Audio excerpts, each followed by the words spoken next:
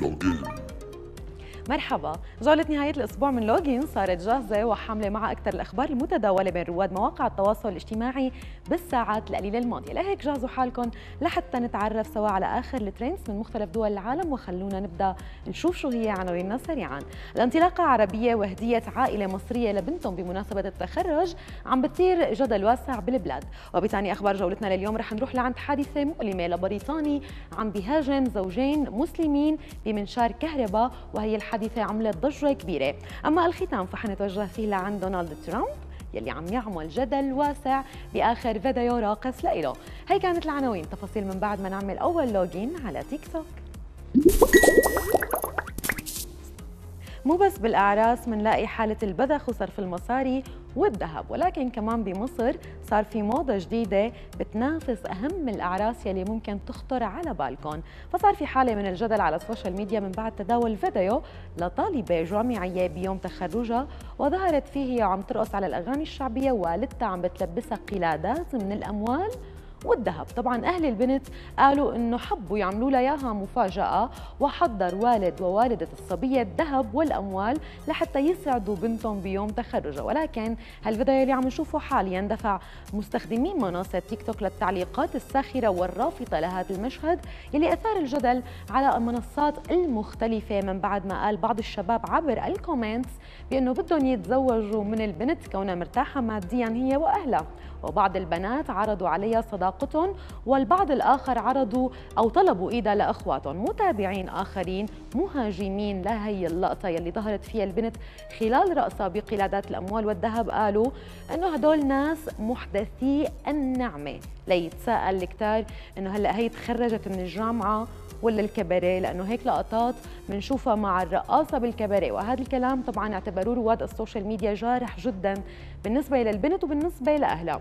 وعلى اعتبار إنه هيك تصرفات أو هيك حركات قال البعض عنها إنه تافهة وعم بيصوروا أهل البنت لحتى يصيروا ترند. بعدين ردنا ما بيحب التبذير وهيك كان بعض الكومنتات وكتار قالوا إنه لو إنهم تبرعوا بهي المصاري لإخواننا بفلسطين شو كان صار؟ وأخيرا وبعيدا عن الحجاب يلي كمان تم التعليق عليه حابين يفرحوا هدول الأهل ببنتهم. الجماعة لا تدخلوا بنية الناس ولا قالوا شو حيصير ولا شو ما حيصير. فرحة وبس. آخر أخبار جولتنا لليوم وآخر لوجين على إنستغرام.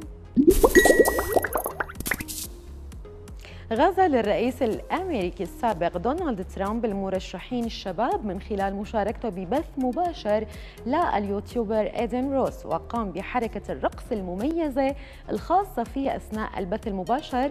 ومن بعدها أعلن ترامب خلال ال live video إنه حيشتغل جاهد على استمرار تيك توك وكل هذا من بعد ما تم اهدائه ساعة رولكس باهظة الثمن بالإضافة لسيارة تسلا. انتقادات كثير حادة توجهت لترامب من بعد الفيديو اللي انتشر مثله مثل تيك توك اللي كمان عم بتواجه انتقادات واسعة وبيعتبرها المسؤولين إنه بتبث محتوى غير ملائم وبتنتهك الأمن القومي للبلاد. وعلى الرغم من إنه المسؤولين الأمريكيين أعلنوا بشكل واضح وصريح عن عدم دعمهم لهي المنصة ابدا إلا إنه دونالد ترامب ومثل ما عم بنشوف ومثل العادة إذن من طين وإذن من عجين مو سائل على حدا لا.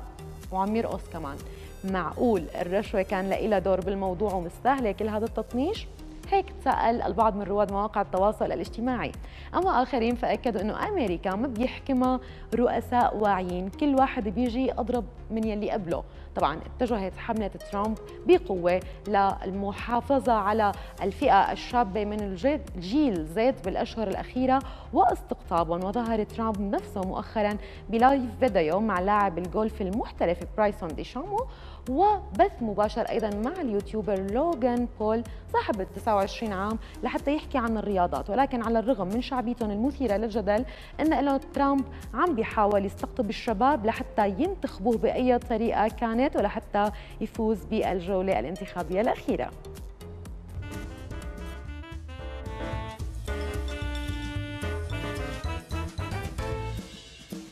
يعني ما شاء الله رؤساء أمريكا كل واحد فيهم أهبل من الثاني على رأي كثار من رواد ال social media. ما حدا فيهم عنده الوعي الكافي لحتى يقدر يصدر حاله بطريقة صحيحة. بالنهاية الاثنين عم يتنافسوا على شيء ما بنعرف. ممكن يكون لإلهم وممكن يكون مو لهم أنا مع هذا الخبر. بكون وصلت لنهاية جولتنا اليومية من لوجين. أكيد لكل الأشخاص يلي حابين يشاركونا الأخبار وال videos والقصص ال trends يلي عم بيشوفوها على ال social media.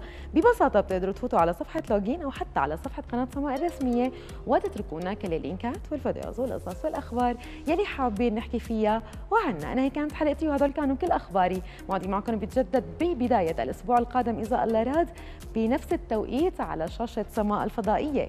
من هلأ لوقتها ضلكم بألف خير. Bye bye